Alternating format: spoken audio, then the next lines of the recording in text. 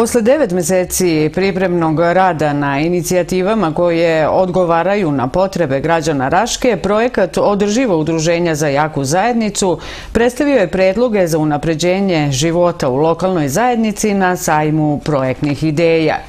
Razvojni centar za mlade bio je koordinator, a partner na projektu Deči savez opštine Raška.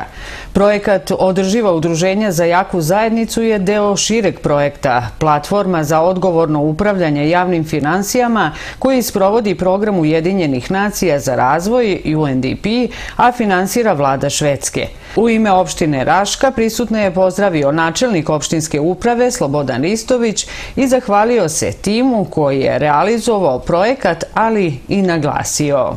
Opština Raška kao i do sada je podržavala i uvek će podržavati ovakve i slične projekte koji imaju za cilj da povećaju kapacitete udruženja, sve u cilju jačanja same lokalne zajednice u kojoj živimo i da unapredi taj život. Ja vam želim Znači ime opštine Raška prijatan dan danas ovde i da ovaj, svi zajedno prođemo kroz sve štandove. Partner na projektu je Dečiji savez opštine Raška. U proteklih 9 meseci naših 12 udruženja iz različitih oblasti delovanja imali su priliku da mnogo toga nauče. Razvojni centar za mlade organizacija koja je nosilac ovog projekta je sa svojim timom, projektnim i uh, ostalim ljudima koji su bili uključeni u ovaj projekat, uh, posvetila dosta vremena kako bi naša udruženja mnogo toga naučila, kako bi bila održiva i kako bi mogli da svoje projektne ideje predstave potencijalnim donatorima. Sva udruženja treba da rade na osnaživanju, na da svoje projektne ideje usklade sa prioritetima lokalne zajednice, koja je uvek tu za njih i koja će im pomoći, tako da zajedničkim snagama mogu privući strane donatore ovde u našu opštinu, naravno na obostrano zadovoljstvo. I zaista jaka i održiva udruženja svaku lokalnu zajednicu čine jačom. Prisutnima se obratila programska direktorka Razvojnog centra za mlade, predstavnica koordinatora projekta i koordinatorka projekta Održiva udruženja za jaku zajednicu. Ja vam danas neću držati formalne govore jer to smo radili u proteklih devet meseci. Samo ću vas pitati, jel vam se dopada šta ste našli na štandu golijskih ukusa? Jeste probali nešto? A, hoće li vam se dopasti tačka koji će izvesti kud Raška ili kud Drvenica? Da li ste zainteresovani da vidimo šta su to radili mališani u Dečijem savezu opštine Raška? Da li želite da jedete med svako jutro i to prirodno pravljeno od naših pčelara? Gljive su takođe u ponudi, znači sve ono što mi radimo, a ako sam nekog izostavila, evo slađe me gleda, izostavila sam velike stvari koje radi i naše udruženje za osobe sa posebnim potrebama, znači sve ono što smo radili u proteklih devet meseci ima praktičnu korist za zajednicu. I kad ljudi kažu jao, pišete projekte, šta je to, šta smarate?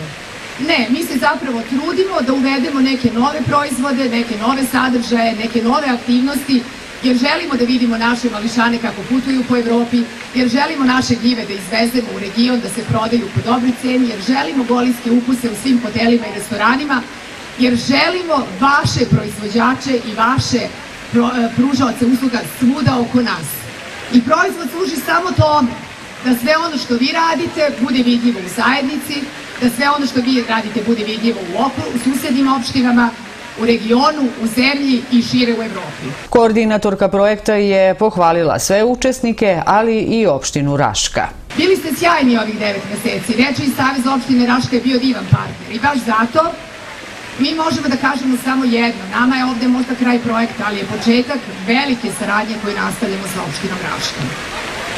Tome je doprineo i pozitivan stav opštine i podrška koju dobijamo od njih. I zato jedno veliko bravo za sve vas i za sve nas koji smo ovome učestvovali 9 meseci. O radu udruženja u proteklih 9 meseci PR Razvojnog centra za mlade Dragana Radošević kaže Održali smo obuku od četiri modula na kojoj su udruženje i njihovih 24 članova i članice učili o tome kako da vode svoje udruženje i kako da pišu projekte. Potom smo imali 12 infosesija po principu vršnjačke edukacije, što znači da su članovi koji su pre, prošli obuku prenosili znanje svojim kolegama. Zatim smo uz mentorsku podršku napisali 12 projektnih predloga koje ćete danas imati priliku da bolje upoznate i sve ovo što radimo je stiglo do više od 500.000 ljudi kroz promotivnu kampanju i zahvaljujemo se svim medijima koji su nas na tom putu podržali.